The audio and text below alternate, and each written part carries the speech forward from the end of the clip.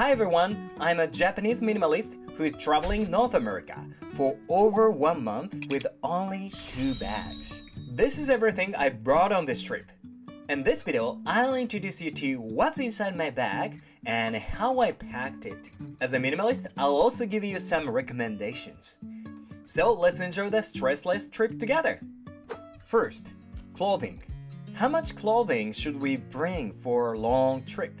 I think many people have this question. And the answer would be 4 days worth of clothing, as they are pretty bulky. That means we need to wash them once every 4 days, which I personally don't think it's too much work. Alright then, let me introduce what I brought. First, kimono. This kimono is like my best friend. It was made at a local kimono store in Japan. Since it's very sturdy, I'm wearing it everywhere I go these days. Second, obi. This obi is highly recommended since it's a belt for kimono that you can simply tie. Very easy to use. Puffer jacket. It's perfect for use as a coat during travel, since you can make it very small like this. Fourth, gown. It's a gift. Fifth, foodie. Sixth, heat tech tops. Seventh, white t-shirts. Eighth, pants. Cotton pants, airism pants, and hiking pants. I mostly wear some whitish colors for the tops, and some darker colors for the bottoms. So that will match with everything you choose. Ninth, shorts. Momohiki, gym shorts, and swim shorts. 10th, underwear. I always use reddish underwear from Uniqlo. And this is Heat Inner. 11th, socks. Four black socks and one white socks for tea ceremony. 12. shoes. Running shoes and sandals. That's it.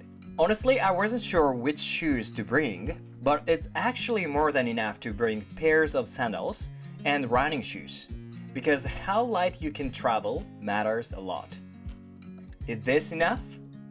I know you might have thought so, but this is just enough even for both hot and cold days. For example, this is how I wear. For hot days, day 1, day 2, day 3, and day 4. Normal days, day 1, day 2, day 3, and day 4. And cold days, day 1, day 2, day 3, and day 4. How do I pack them? So I roll them all up and fit them into the mesh travel case Muji. The tip here is to separate the colors of mesh cases. So depending on the color of the case, I recognize underwear, pants, t-shirts, and coats so that I can find them easily.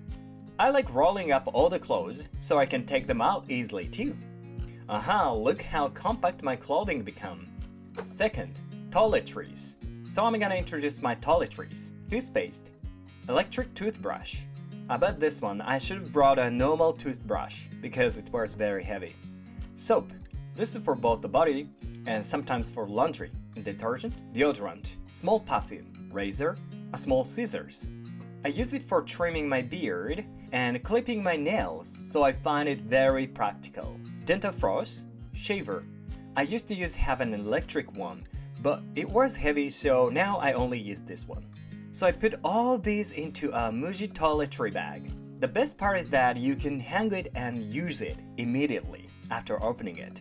So I highly recommend it since it's very useful. Third, matcha tools. Now I'll introduce some of my matcha tools. Believe it or not, everything will fit into this tiny tea box. Tea utensil set. Kensui, a container for wastewater. Tea bowl A from Mino in Japan. And tea bowl B, uh, this is small tea bowl for traveling. And Natsume, made of maple trees. Chasen case and Chasen, uh, which is tea whisk. And tea bowl C uh, from Kinto. And tea strainer, and chakin case, and chakin, which is small cloth and chashaku teaspoon made of white-lipped pearl oyster, fukusa silk cloth. They all fit in here. Other tea utensils, water bottle from Kinto and Snow Peak. Other chasen tea whisk, kaishi paper plates, cloth. This is for kimono of the water bottle. Outdoor rug, mont-bell. Matcha. Hizou Denrai from Hoshino Village in Fukuoka this is my favorite. Organic matcha from Hoshino Village in Fukuoka. And organic matcha from Chafinity. This is my recent favorite. Other matcha from Jaga Silk. I put them in a net bag. Fourth, accessories. Let's move on to some knickknacks. Tenugui.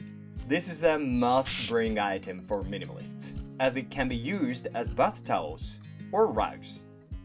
White sage, this is a gift. Palo Santo, this is also a gift. Bags. Black small bag and a foldable one. This is really useful. Rock. It was just beautiful, so I brought it. It's a bit heavy. Lock. Wooden nameplate, uh, this is a gift. Rubber bands, a lot of receipts, snacks, plastic case for knickknacks. To be honest, this case is very useful, helped me the most during this trip. Chopsticks, spoons, these are also a gift. Put all of them in the main bag. The main bag is the Ulvo 30 of Fjällräven. It has a simple but sturdy design. It contains 30 liters and you can still carry it on the airplane. How cool is that?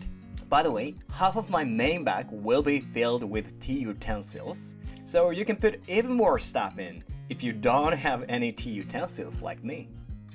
Fifth, shooting equipments for YouTube videos. As a YouTuber, the camera matters a lot. Sony ZV-1 2. I mostly use this one for indoor shooting, recording microphone Fifine, DJI Osmo Pocket 2. I use this one for outdoor shooting with motions. Camera microphone Rode. Sixth, stationery.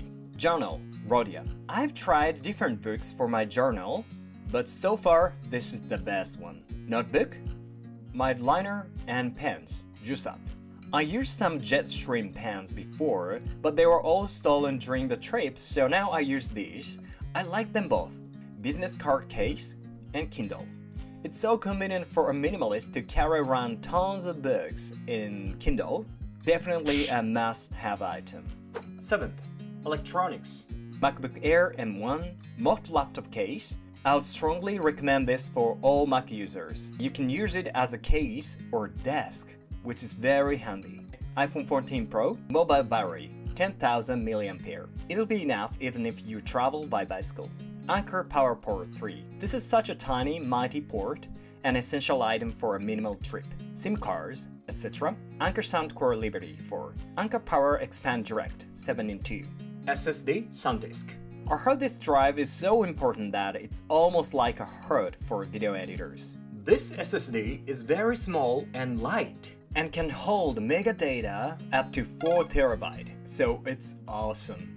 And cables. 8th, valuables. Money, credit cards, and passport. I put them into a small wallet bag of mont-bell. I can hang it from my neck, so it'll avoid being stolen. I actually found it very handy, so I might use it as a wallet in the future too.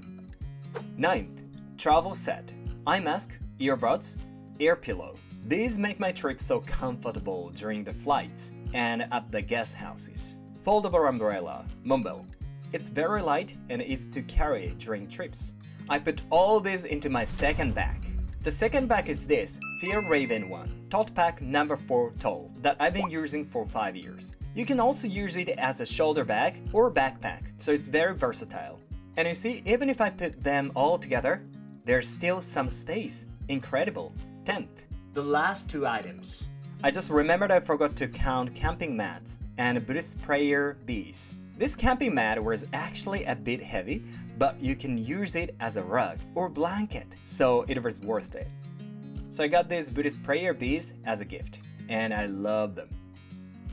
Okay everyone, that's it for today. How did you like it?